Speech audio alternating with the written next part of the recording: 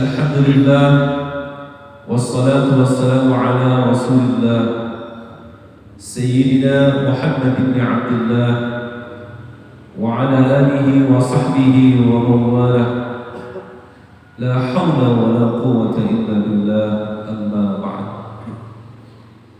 ربي أعوذ بك من همجات الشياطين وأعوذ بك ربي أن يحضرون Alhamdulillah kita panjatkan syukur kehadirat Allah Subhanahu wa taala. Dengan izin Allah alhamdulillah kembali kita dipertemukan di tempat yang sangat mulia ini. Semoga langkah kita Allah ampuni segala dosa-dosa kita dan Allah angkat derajat kita. Dan semoga Allah senantiasa selalu mencurahkan keberkahan untuk kita semua. Seperti doanya Rasulullah SAW, Allahumma barik li ummati fi. Ya Allah, berkahilah umatku di waktu pagi hari. Salawat dan salam Semoga Allah mencurahkan kepada uswah dan kedua hasanah kita baginda Rasulullah Muhammad sallallahu alaihi wasallam kepada seluruh keluarga beliau, para sahabat-sahabat beliau. Semoga selawat beserta salam Allah mencurahkan pula bagi kita selaku umatnya. Amin ya Allah ya. Hadirin yang dirahmati Allah, kita sampai pada ayat yang ke-20 dari surah Al-Mulk ini. Amman hadha alladhi huwa jundul lakum yansurukum min dunir rahman. Saya baca dulu sebelumnya ya. A'udzu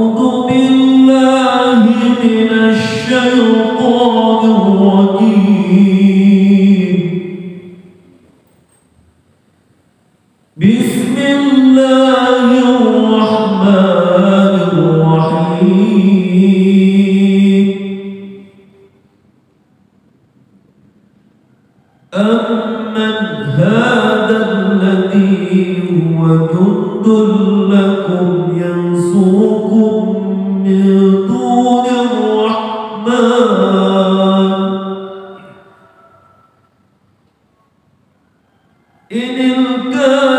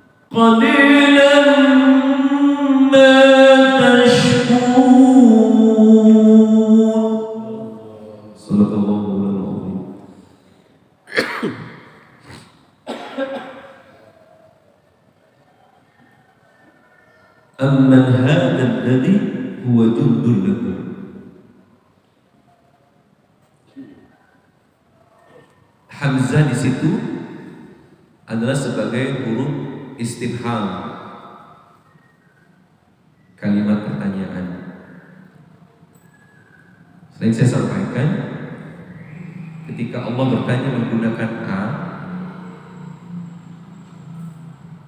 itu bukan untuk dijawab. Kalau hal, maksud saya kalau hal jawabannya antara na'am dan la. Hal salah itu Apakah kamu sudah sholat? Nah, sholat itu saya sudah sholat. Tapi kalau pertanyaan dengan A, misalkan atashrabul bahwa am laban? Apakah kamu mau minum kopi atau susu? Jawabnya bukan na'am, bukan iya, tetapi pilih salah satunya.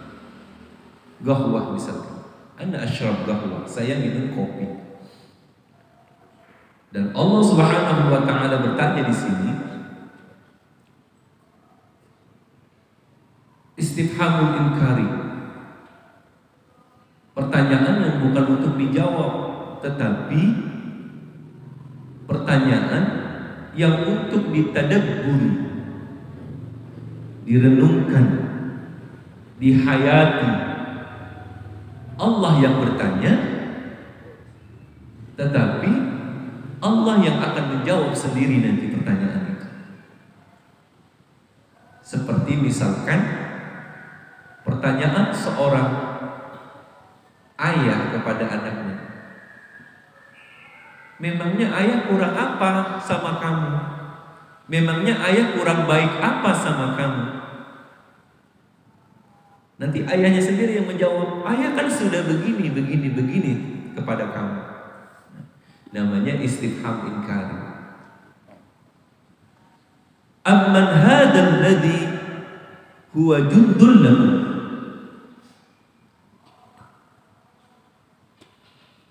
siapakah orang yang huwa dia orang itu jundul lahu yang menjadi tentara. Yang menjadi pembela. Yang menjadi bala tentara.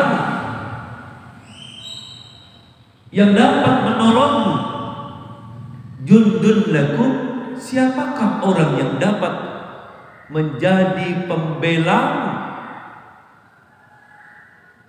tentaramu pengawalmu sehingganya Tentara itu yang suruhku. Dia akan menolong kalian.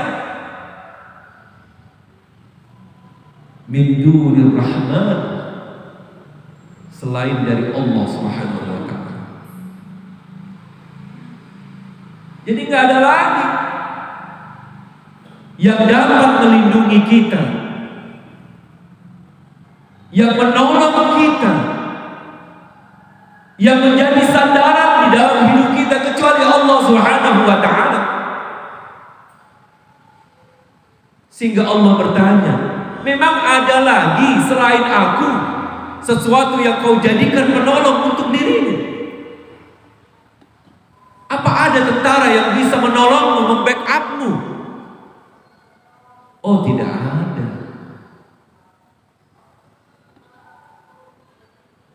jenderal bintang 8 sekalipun apalagi cuma 4 bintang dia tidak mampu untuk menghindar dari kematian orang sekaya apa pun tidak bisa menyogok Israel agar ditunda kematiannya Tidak ada yang bisa menolongmu. Ketika kalian diberikan musibah yang besar, ada korelasinya dengan ayat sebelumnya. Apakah kalian merasa aman-aman saja Ketika Allah Subhanahu wa taala mengirimkan kepada kalian hasiba hujan batu siapa yang bisa menolong kalian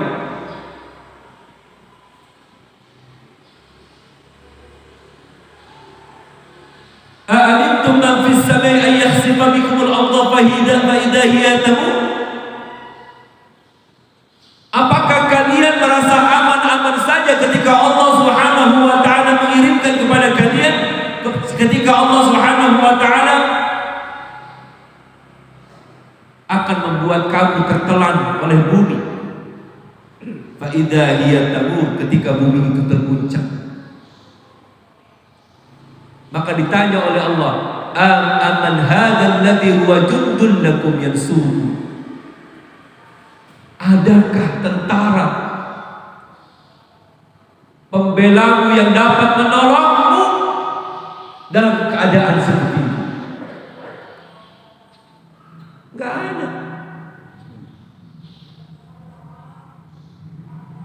Maka yang dapat menolong seseorang itu hanyalah Allah Subhanahu wa taala. Sehebat apa pun orang itu, sekaya apa pun, setinggi apa pun jabatannya, dia tidak akan bisa menolong dirinya, menghindari dari kematian dan sebagainya. Kecuali atas izin Allah Subhanahu wa taala.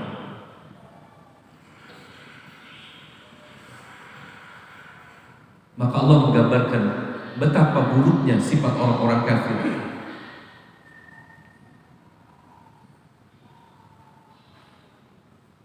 Inil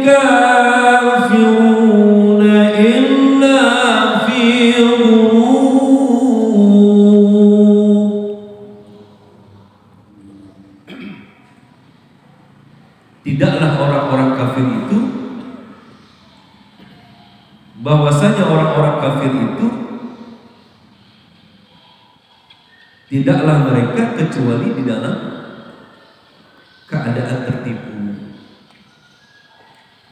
Maksudnya gimana? Mereka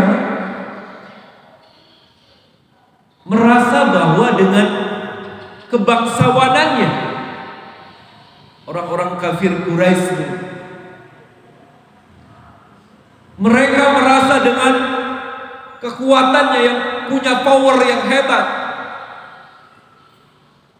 dengan kekayaannya, dengan jabatannya dia bisa menghindar dari siksa Allah Subhanahu wa taala. Oh tidak. Ketika seseorang merasa dirinya hebat kemudian dia bisa melawan hukum Allah dia bisa lari dari takdir Allah. Dia bisa lari dari azab ketika Allah turunkan azab itu. Oh sungguh itu orang yang tertipu. Jabatan kalian harta kalian kedudukan kalian tidak mampu menghindar menolong kalian dari kematian. Seandainya kematian itu sudah ada sudah datang nanti. Bahwa kedudukan kalian jabatan kalian harta kalian tidak akan dapat menolong kalian ketika kalian berada di dalam kubur kalian.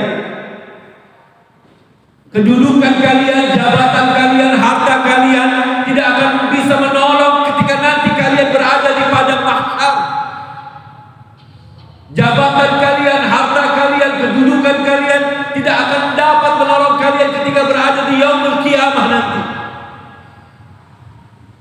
ada yang beranggapan seperti itu mereka adalah orang-orang yang tertipu. Orang-orang bodoh syufaha. Hadis kalian yang dirahmati Berikutnya Allah bertanya lagi.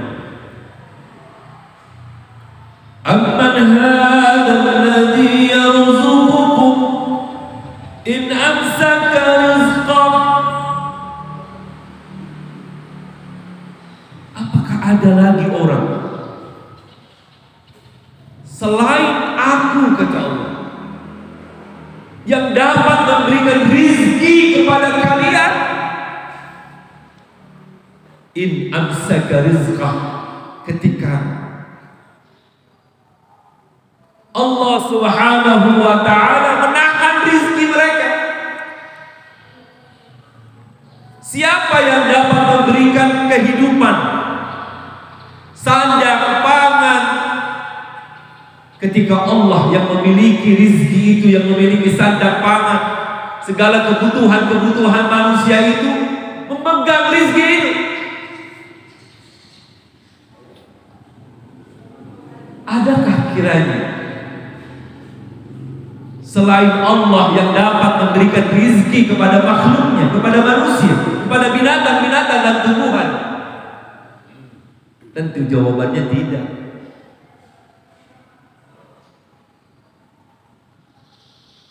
apakah manusia akan mengira dan merasa aman jika seandainya Allah genggam rizki manusia ini. Seandainya ketika Allah tidak turunkan hujan tidak ada air yang menghidupi manusia tidak ada tumbuhan yang menghasilkan buah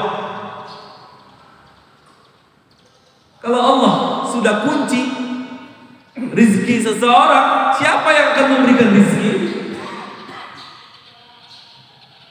Secara secara apa namanya? Bicara secara umum seperti itu. Kalau kita renungkan secara diri kita masing-masing, kita meyakini bahwa Allah yang memiliki sifat Ar-Razzaq Allah yang maha memberikan rezeki. Kalau seandainya Allah sudah mengunci rezeki seseorang, siapa yang bisa memberikan rezeki kecuali Allah? Begitu juga kalau Allah yang sutur rizqan liman yasha wa. Kalau Allah sudah membukakan pintu rezeki kepada seseorang, Allah akan bukakan selebar-lebarnya dan Allah yang membatasi pula rezeki seseorang. Maka kita menyadari kita hanya sebatas ikhtiar. Kemarin kita sudah bahas فَإِذَا قُضِيَتِ الصَّلَاةُ فَانْتَشِرُوا فِي الْأَرْضِ وَاذْكُرُوا اللَّهَ كَثِيرًا لَعَلَّكُمْ تُفْلِحُونَ Apabila sholat sudah dikerjakan, sudah dilaksanakan, sudah didirikan, fantasyiru fil Maka bertebaranlah di atas muka bumi ini. Cari karunia Allah sebanyak-banyaknya. Tapi sebelum bertebaran, qudiyatis salah. Penuhi dulu hak-hak Allah. Kenapa? Karena Allah yang menggenggam rizki itu. Jangan terlalu kepedean jadi orang. Merasa dirinya mampu, merasa dirinya hebat bahwa rizki itu hadir karena usahanya. Oh bukan begitu. Yakini bahwa Allah yang sutur rizqan liman yasha. Allah yang membukakan selebar-lebarnya rizki itu Dan Allah yang menutupnya. Maka langkah kita usalli dan usaha. Salat dulu. Namanya karena oleh karena itu ada namanya salat duit. Salat duha. Sebelum berangkat usaha kerja ke kantor duha dulu. Kita minta dulu sama yang punya rezeki agar dibukakan pintu rezeki itu. Dibukakan jalannya dibukakan kemudahan untuk menuju rezeki itu. Tugas kita hanya menjemputnya dengan ikhtiar kita. Ya Allah, in kana rizquna fis sama, kalau rezeki saya masih di langit, fa anzilhu, tolong turunin ya Allah. Fa in kana fil ardi fa akhrijhu, kalau rezeki saya masih ada di bumi keluarin ya Allah. Fa in kana ba'idan fa qarribhu, kalau masih jauh dekatkan ya Allah. Fa in kana qalilan fa kalau sedikit banyakkan ya Allah.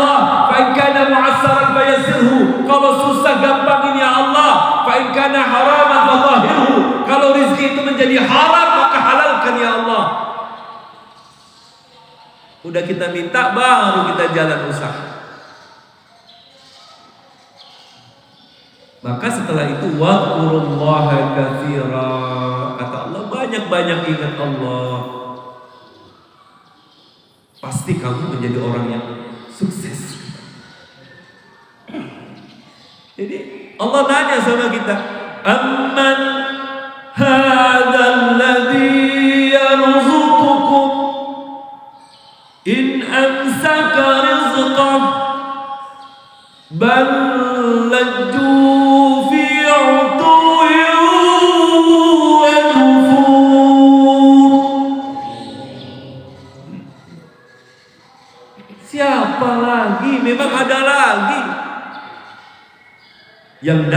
memberikan rizki kepadamu kalau seandainya Allah menutup rizkimu. Enggak ada lagi. Kita harus yakin itu. Tugas kita ikhtiar. Rizki itu milik Allah. Jangankan lagi yang belum kita usahakan. Yang udah di tangan aja kalau belum rezeki kita bisa hilang. Saya pernah cerita itu tentang ikan yang dimakan kucing. Saya udah siap mau makan. Udah ada lauknya di atas, cuma gara-gara belum ada air minum, saya sebentar aja ngambil air minum, ternyata tuh ayam udah dibawa sama kucing. Padahal udah udah sampai di mulut saya, tuh mau masuk ke mulut. Tetapi kalau belum rezeki itu jadi rezekinya kucing. Seperti itu. Kalau kita mau pikirin seperti itu. Tetapi sayang kata Allah, baladu manusia itu bahkan manusia itu akan tetapi manusia itu laju terus menerus maka ada istilah itu man al-baba lajja walaja. Siapa orang yang mengetuk pintu, jadi ada qara'a, ada qara'a. Kalau qara'a itu membaca, kalau qara'a pakai ain mengetuk. Jadi kalau qari' bukan tukang baca Quran, tukang ngetuk pintu. Qari' siapa orang yang mengetuk pintu lajja terus menerus. Walaj, lama-lama pintu itu akan dobrak juga. Balaju tapi sayang kata manusia itu terus menerus enggak henti-hentinya. Fi utuwin wa mereka berada di dalam kesombongan. Congkak angkuh. Seakan-akan dia enggak butuh Allah yang beri dia rezeki.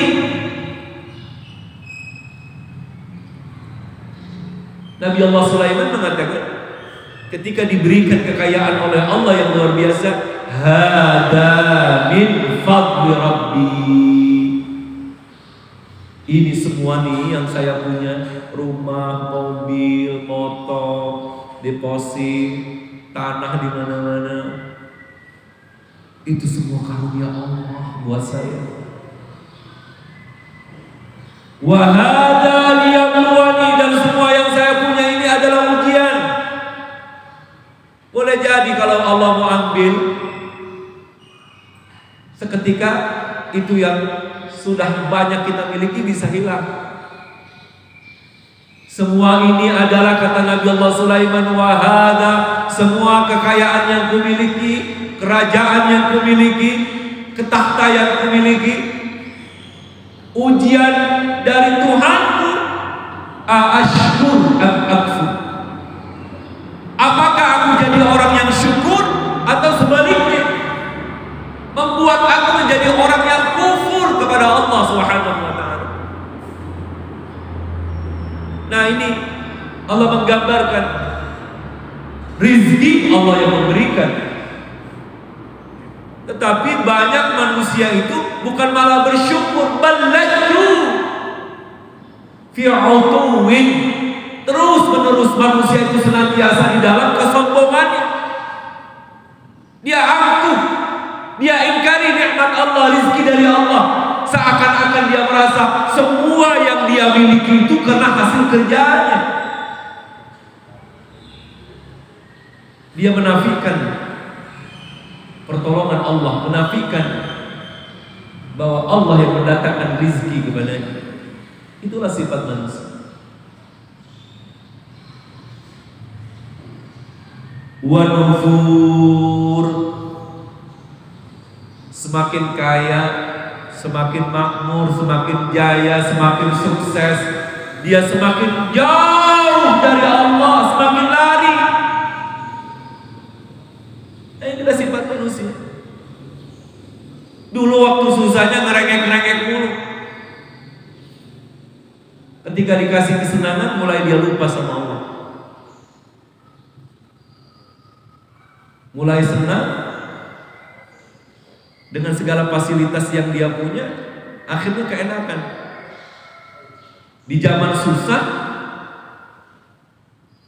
tidur saja harus di atas kasur yang udah lama, udah nggak nyaman. Rumahnya di atasnya nggak ada pelaponnya, setiap malam dia hitungin genteng, gerah. Karena kamarnya di situ, dapurnya di situ, kamar mandinya di situ. Daripada dia nggak tidur, kalau malam dia bangun malam, sholatnya rajin, sholat malam. Minta sama Allah, ya Allah angkat derajatku, berikan aku rizki. Lama kelamaan, karena dia sabar, dikasih rizki sama Allah. Lebih enak hidupnya. Bisa sewa rumah yang agak lumayan. Ada kamar mandinya sendiri, dapurnya sendiri, kamarnya sendiri. Lama-lama lama semakin enak punya rumah sendiri. Rumahnya udah ada fasilitas AC-nya dingin, kasurnya empuk. Mulai terlena dia. Yang biasa dulu bangun malam, udah nggak bangun malam lagi. Kenapa? Udah enak tidurnya. Udah gak gerah, nyaman, kasurnya empuk, pakai AC. Mulai dia tinggalkan sholat malam. Semakin maju, jabatannya semakin meningkat. Dulu hanya punya motor jelek, mogok-mogok mulu mulai dikasih sama atasannya tuh apa mobil mobil apa kendaraan dinasnya. Kasih mobil nyaman mulai dah dia. Yang tadinya sholat di awal waktu mulai dah. Karena udah mulai sibuk sholatnya di tunda-tunda di akhir karena sibuk banget. Yang dulu biasanya mampir duha dulu udah nggak nggak sempet dah untuk duha. Semakin enak dia semakin hidupnya semakin makmur. Mulai dah sibuk dengan segala urusan-urusan dunianya. Sampai akhirnya sholat pun dia berani tinggalkan. Begitulah sifat manusia. Saya mau tanya, ini orang berkah nggak kalau begitu? Kan orang bilang, nanya gini, gimana? Alhamdulillah berkah, oh belum tentu juga. Kalau banyak iya, tapi berkah belum tentu. Berkah itu sesuatu yang lebih baik, sesuatu yang banyak, semakin banyak semakin dekat kepada Allah. Itu namanya berkah. Ada orang berazam, ya Allah, kalau seandainya saya diberikan kendaraan yang bagus gitu, pokoknya saya mau ziarah dah ke mana-mana, saya mau silaturahim, saya mau buat kebaikan-kebaikan ngaji dan taklim hadir di mana-mana dah gitu. Kebetulan Allah kasih dan dia dia tepati niatnya itu itu berkah. Tapi semakin enak dia semakin jauh dari Allah, semakin lalai, nggak berkah berarti. Nauzubillah. Jadi tanya dah kita masing-masing rizki yang ada di rumah itu kira-kira menjadi kita berkah atau enggak kira-kira? Semakin senang bukan semakin dekat sama Allah, semakin lari, semakin jauh, semakin lalai. Itu tandanya bahwa apa yang kita miliki itu belum belum berkah. Itulah sifat manusia. Balaju fi utuwin Bahkan manusia itu terus menerus dia itu tunjukkan kesombongannya, keakuhannya, bahkan dia lari dari Allah Subhanahu wa taala yang memberikan dia rizki. Kalau itu nanti sudah terjadi apa yang Allah datangkan. Nah, nanti berikutnya kita akan bahas itu. Kita tinggal berapa pertemuan lagi kira-kira ini? Kita kan udah di awal Syakban. Tiga kali kali ya, atau dua kali lagi ya. Tiga kali lagi kita akan sambut bulan suci Ramadan. Hadirin sekalian yang dirahmati Allah Subhanahu wa taala. Nanti kita akan lanjutkan apa may yamsi kibban ala wajhi ahda ama apa may yamsi sawiyan ala siratal. Mudah-mudahan ini menjadi tadkarah menjadi pengingat buat kita bahwa rizki itu Allah yang memberikan. Allah yang Maha Razzaq selalu memberikan kita rizki. La in syakartum la azidannakum. Kalau kalian syukuri rizkiku itu kata Allah, ku tambahkan. Semakin ku tambahkan. Wa la in kafartum, tapi kalau kalian kufuri sebab kalian laju fi utuwin wa nufur, kalian semakin sombong, kalian semakin menjauh dari Allah. Inna adabi lasyadid. Sungguh adab itu sangat pedih kata Allah. Jadi yang memberikan dan mendatangkan rezeki kepada kita adalah Allah Subhanahu wa taala. Tugas kita hanya sebatas ikhtiar saja.